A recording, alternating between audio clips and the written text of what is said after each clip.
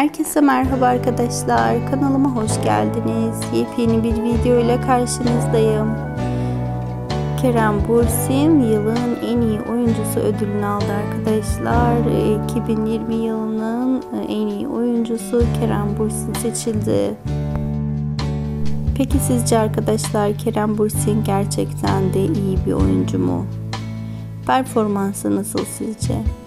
Yorumlarınızı videonun altına bekliyorum. Şimdilik benden bu kadar. Eğer videomu beğendiyseniz beğen butonuna basmayı unutmayın.